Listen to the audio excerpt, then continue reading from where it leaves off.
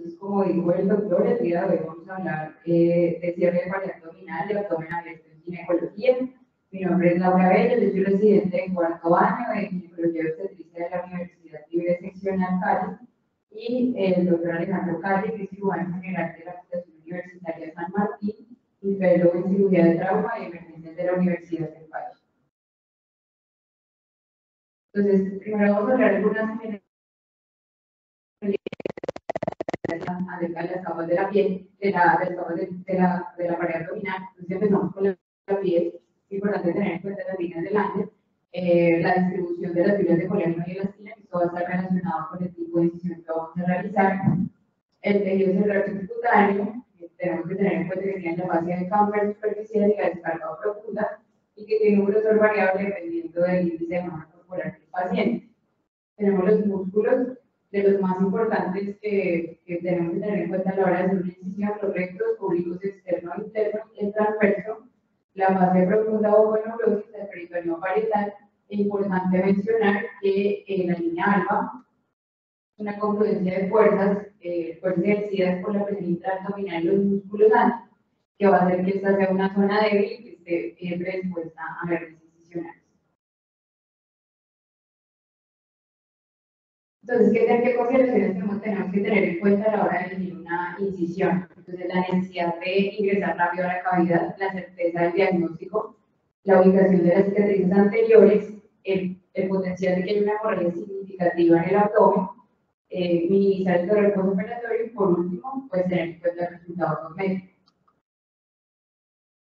Entonces, a grandes rasgos, sabemos que los, los tipos de incisiones grandes que nosotros utilizamos son transversales y longitudinales, de las transversales importantes, que son las, las que van paralelas a las líneas de tensión, y eh, tienen como ventajas que van a mejorar resultados cosméticos, son más fuertes, eh, producen menos dolor e interferencia con la respiración postoperatoria. Pero tienen como desventajas que requieren más tiempo, eh, más riesgo de sangrado y hematoma, y adicionalmente se hace una sección de la terminación nerviosa, por lo que va a producir más dolor.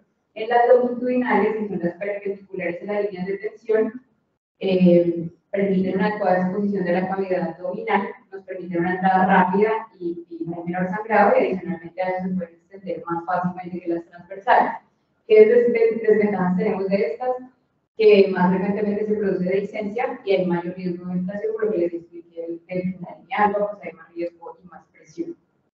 Entonces, de las que nosotros más utilizamos en las longitudinales, más que todo la mediana, eh, especial para las, unidades ginecológicas, y las transversales, eh, de las que más utilizamos, está Panesty y Mailer Cherry, que son pues, de, todas son transversales, pero estas van a ver por de los músculos rectos abdominales.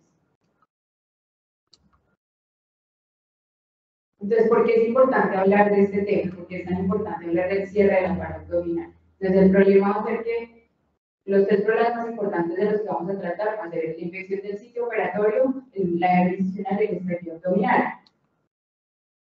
Que hay una incidencia alta, se ha encontrado una incidencia hasta el 30% de hernia incisional y eh, adicionalmente después de corregirla se ha encontrado una tasa de reproducción hasta el 40%, lo que representa una alta mortalidad y un alto costo del sistema de salud.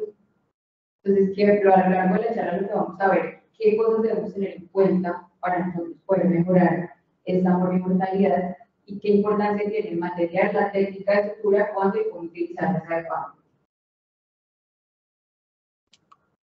Entonces, en cirugía y en, todos los procedimientos quirúrgicos que realizamos, se debería haber unos procesos estandarizados. Sin embargo, eh, cada uno de nosotros aprende una técnica y una forma de hacer las cosas diferentes y esto hace que haya una alta variabilidad y expone a mayor riesgo de error en este tipo de procedimientos. Por eso la idea es unificar conceptos y llegar a una técnica y el uso de un material adecuado y siempre tener en cuenta que la cicatrización no va a ser igual en todos los pacientes. Entonces, ¿qué factores tenemos que pensar en un paciente antes de operarlo y en el momento de la cirugía? Entonces, hay factores eh, desde prequirúrgicos como la edad, el estado nutricional, si es un paciente obeso o con bajo peso, si fuma, qué antecedentes patológicos tiene, qué enfermedades pueden incluir en esa cicatrización como la diabetes, farmacológicos pacientes que estén expuestos a radioquimioterapia o uso de esteroides. Entonces eso lo tengo que ver desde el momento en que yo veo al paciente. Ya como tal la cirugía, tengo que mirar si es una cirugía de emergencia, si la incisión es amplia, más de 18 centímetros, si es una reintervención, si está contaminada y qué tipo de técnica yo utilicé. Y postquirúrgico, tener en cuenta que ese paciente, pues el paciente que se infecta es el principal, eh, el principal riesgo para una tasa de ventilación más alta, hasta el 40%, y pacientes que, que con ventilación mecánica, que queden hemodinámicamente inestables o que tengan factores que aumenten la presión intraabdominal, pues van a tener más probabilidad de tener una licencia.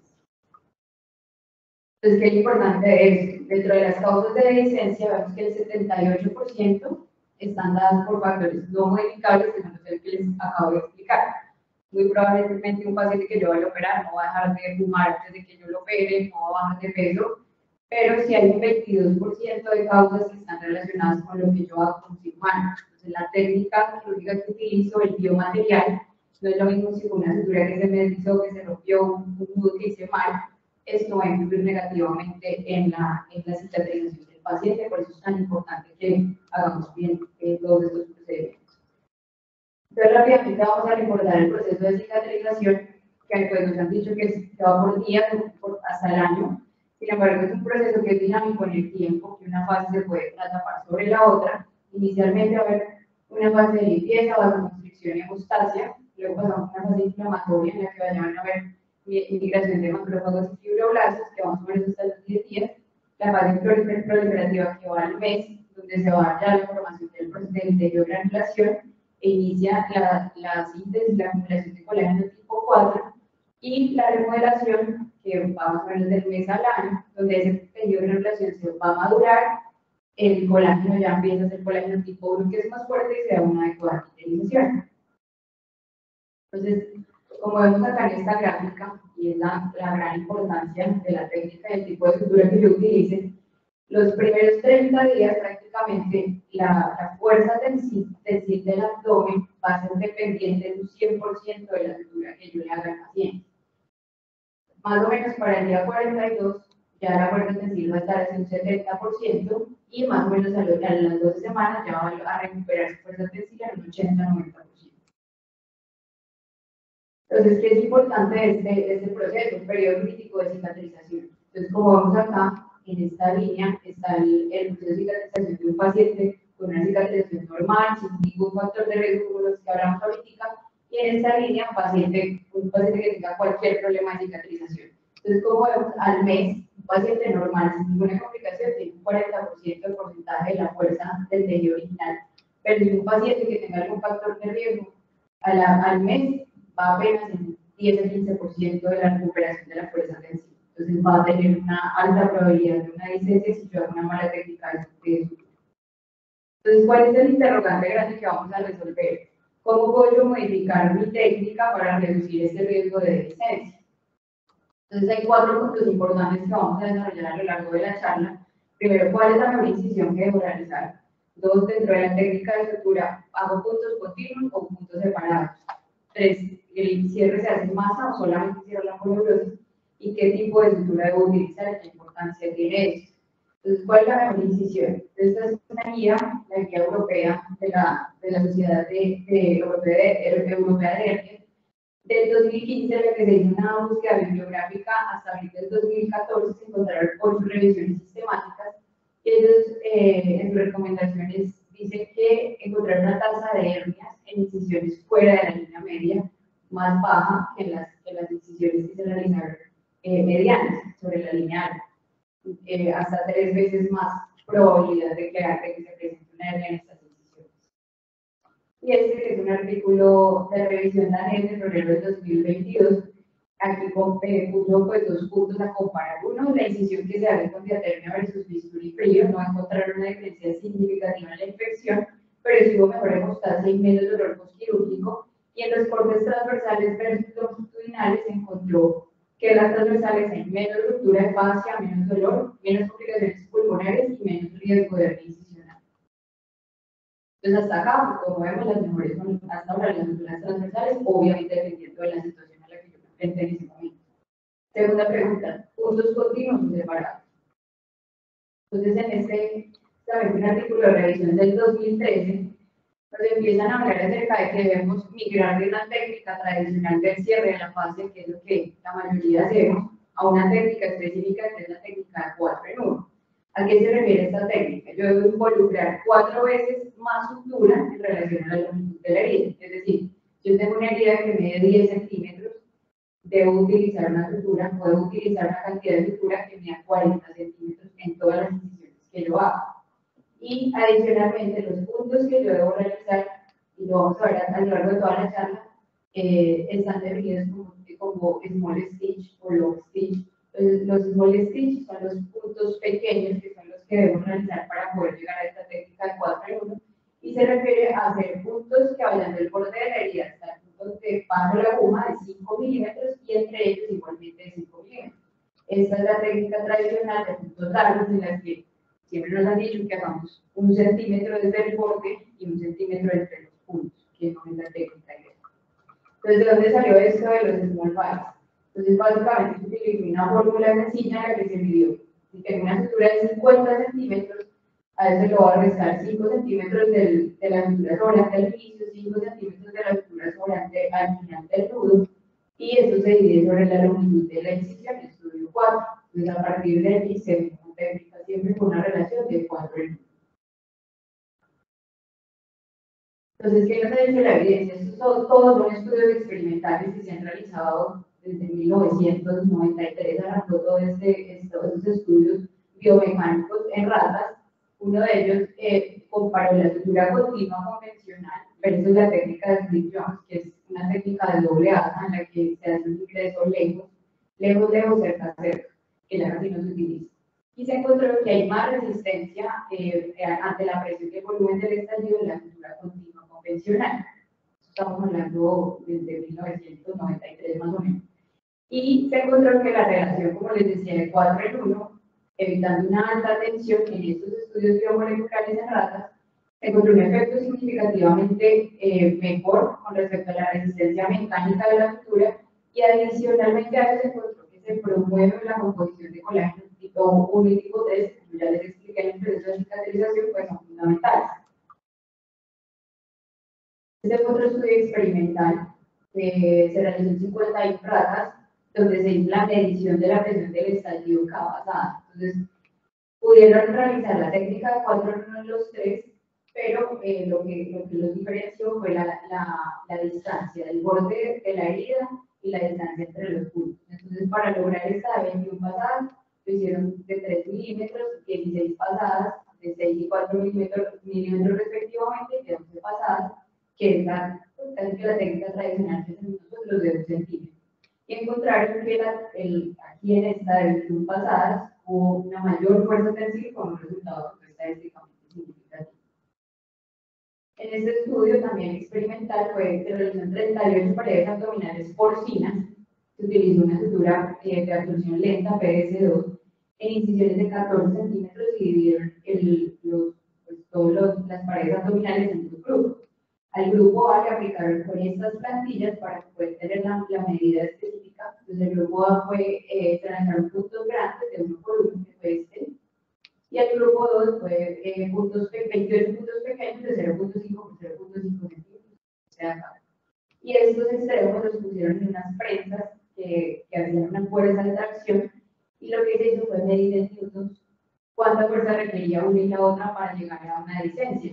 Entonces encontraron que la fuerza de tracción media geométrica fue significativamente mayor en el grupo B, es decir, en el de puntos pequeños, con 787 newtons versus 534 y una P significativa, es decir, que yo necesito más fuerza en los puntos pequeños, hacer más tensión para poder lograr, lograr separar esa sutura, entonces es mucho más fuerte. Y adicionalmente se encontraron estas lesiones que se ven aquí, que son como enojar, y también ya más adelante les voy a explicar qué, cuál es el efecto de esos puntos grandes sobre los tejidos. Continuando con la guía europea, entonces ellos ponen como recomendaciones menor riesgo de una incisional con una estructura continua en el cierre de la paratomía como una recomendación fuerte.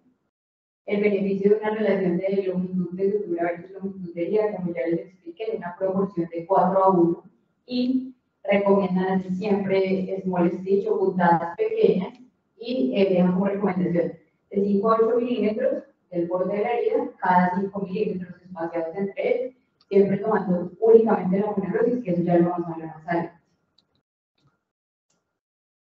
Este fue un estudio importante que se realizó en el 2016, eh, donde se hizo un ensayo prospectivo doble ciego aleatorizado y controlado en 10 hospitales de Países Bajos entre el 20 de octubre del 2009 y el 12 de marzo del 2012. Se hizo una aleatorización uno a uno de 560 pacientes, todos mayores de 18 años, que habían sido programados para la parotomía electiva. Y el resultado primario fue determinar la aparición de hernia incisional al año de seguimiento, con un diagnóstico que fuera por examen físico o radiológico. ¿Qué encontraron ellos? Que los pacientes en los que se realizaron los, los puntos largos versus pequeños se encontró una tasa de 21% de hernia incisional versus un 13%, un resultado que fue significativo. Entonces, a partir de este estudio, pues ellos dicen que la técnica de small bites o de pequeños puntos disminuyó hasta un 48% de hernia incisional y se considera que es más eficaz en la prevención en la paratomía mediana y que no se asoció ni a más dolor ni a eventos adversos y fue a partir de ello que pues, se, se consideró la técnica de cierre estándar para la paratomía mediana. Ahora vamos a la tercera pregunta. ¿Cierre en masa o solo aponeurosis? Entonces, es muy importante recordar que en las capas de la pared abdominal, la fascia es el plano más importante en el cierre, porque es la que ofrece mayor fuerza durante la cicatrización. habitualmente debemos hacerlo con suturas que no sean absorbibles o de absorción lenta. Siempre evitar el desgarro del tejido, o sea, no porque yo haga más fuerza a la hora de cerrar la, la, la, la sutura, va a, ser, va, a tener una mejor fuerza tensiva, no necesariamente. Antes al contrario, eso rompe los tejidos. Y con respecto a tejidos celular subcutáneo, pues cerrarlo si es mayor de 2 centímetros, se ha visto que disminuye el espacio muerto y la probabilidad de seromas o hematomas.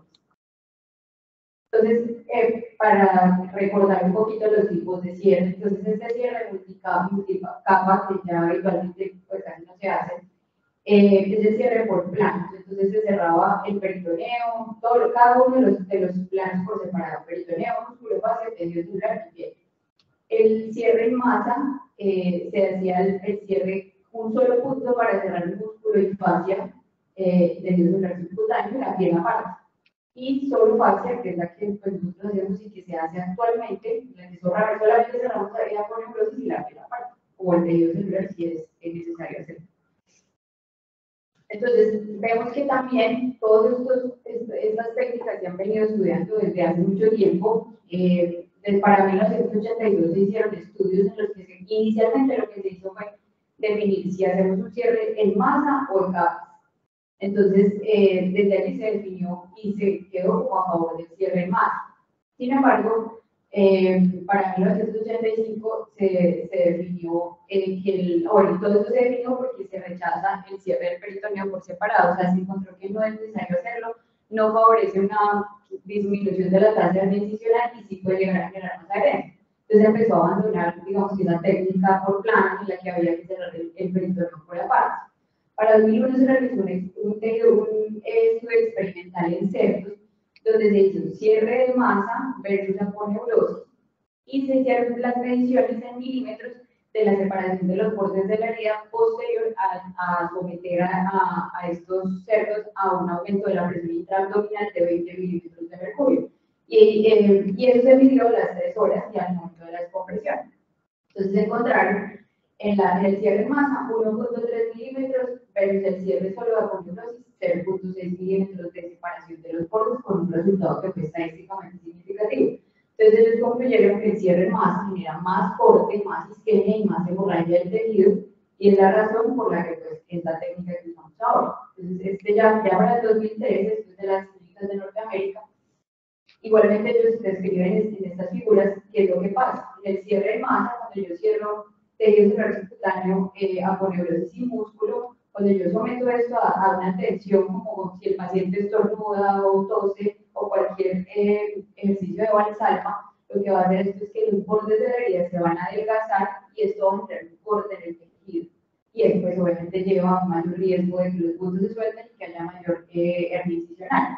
Se encontró que en esta técnica se, se, que, que una separación de los tejidos hasta de 12 milímetros versus cuando cerramos solo la polibrosis, que es un punto más pequeño y solamente está este tejido, tiene más, eh, la, tiene mayor fuerza tensil el tejido cuando yo lo someto a una tensión como pues, un ejercicio avanzado. Entonces, ¿qué recomendaciones que hago desde este momento? Que se debe hacer un, un, cierre por una técnica de sutura continua, cerrar solamente la poneurosis, evitar una alta tensión en la sutura y los puntos, como ya les explicamos ampliamente, hacer la técnica siempre de cuatro Volviendo a las guías europeas de 2015, entonces ellos también eh, hablan de que no encontraron beneficio ni a corto ni a largo plazo el cierre del peritoneo, pero sí más formación de, de adherencias viscerales, por eso no lo recomiendan. Eh, y eh, que el, el cierre neurótico en una capa para la decisión mediana en cirugía electiva es el cierre pues, de elección que se debería realizar. Hablando de nosotros en ginecología específicamente, esta es una revisión en la que igualmente se concluyó que el cierre quirúrgico del peritoneo no afecta ni la fuerza eh, de, la, de, la, de, la, incisión ni la cicatrización. Adicionalmente, existe la evidencia de que el peritoneo se revitaliza solo entre 48 y 72 horas y que el cierre de este va a generar más eh, formación de herencias para el procedimiento posterior y también encontrar que producía más dolor.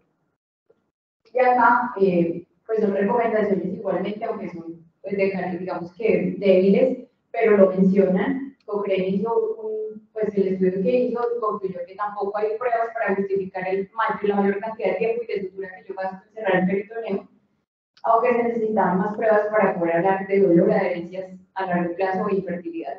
El Royal College menciona que tampoco se debe cerrar el peritoneo y que deberíamos aplicarlo para todos los procedimientos quirúrgicos y las guías eran, también, eras, perdón, hablan de que no es necesario cerrarlo y apoyan pues, el, el cierre del tejido celular subcutáneo si tiene más de 2 centímetros. La cuarta pregunta, sutura, suturas negociables. Entonces, ¿qué, ¿qué, tanta importancia tiene un nudo? Aunque no lo creamos, es muy importante. ¿Qué, ¿Qué, problema tenemos? Que tiene una alta variabilidad. Cada uno de nosotros hace el, el punto que, que mejor aprendió y el que mejor le queda pero pues en realidad también deberíamos estandarizar. Eh, el, el nudo inicial, aunque no lo creamos, va a modificar las características biomecánicas de la sutura. Puede llegar a reducir la fuerza tensil hasta un 65% y la falla de la sutura corre típicamente en el nudo si queda suelto o quedó mal hecho. Eh, y cuando uno debe darse con precisión, siempre debe mantenerse con una tensión adecuada. Entonces, ¿cuál es el nudo ideal? El nudo autobloqueante. El nudo autobloqueante me ofrece una alta seguridad y eficacia, una, va a tener una buena resistencia de sí. Adicionalmente, eh, me ayuda a, consumir un volumen mínimo de sutura y, además de eso tiene como ventaja que reduce la respuesta cuerpo extraño y eh, además es atado con una tensión mínima en la que hago una aproximación sin estrangulación del tejido. Entonces, ¿cuáles son los puntos autobloqueantes? Los nudos autobloqueantes. Entonces, el nudo de inicio y el nudo final de la, de la Entonces, el nudo de inicio es el nudo que algunos nos enseñaron en partes como el nudo eh, del pescador. Exacto. Es el nudo que deberíamos hacer de inicio al, al iniciar el cierre de la sutura. Y el cierre final, o, o también conocido como, como nudo de Aberdeen, que ya que también algunos lo hacemos, pero en la esterografía, que es cuando se pasan tres asas y se autoajusta el nudo, ya se los voy a mostrar en un video esos son los que, recomienda la evidencia que deberíamos realizar. Entonces acá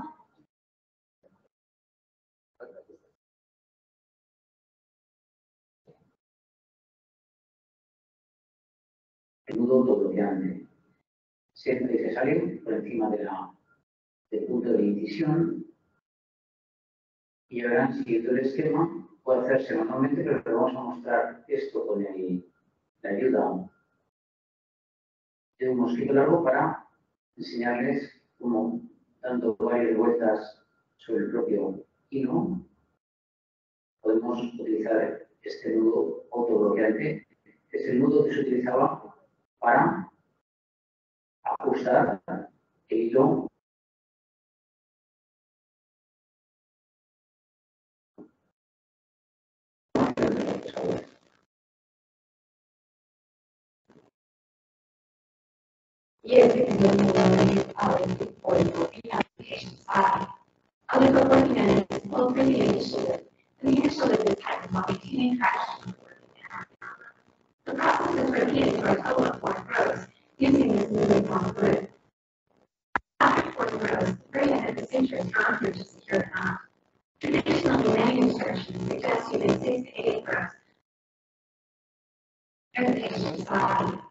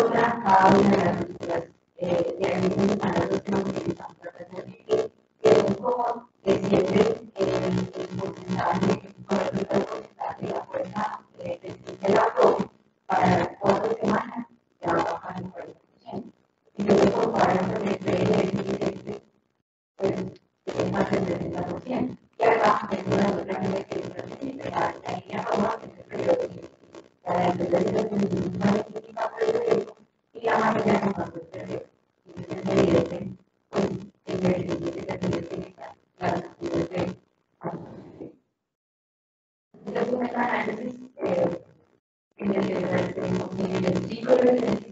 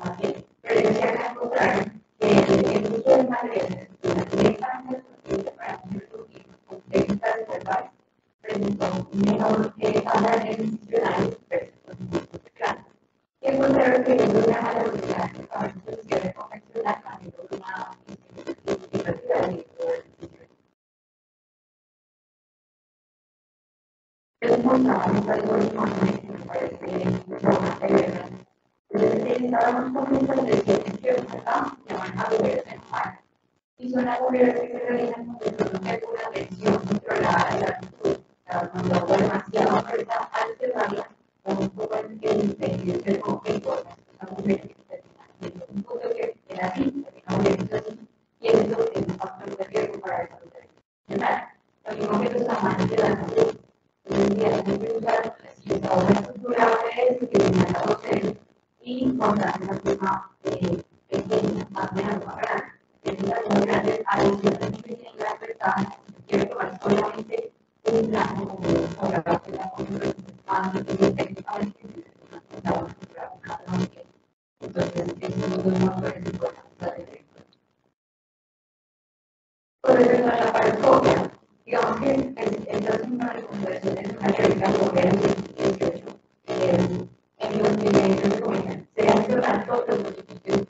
and his parenting is also time-minded and dedicated.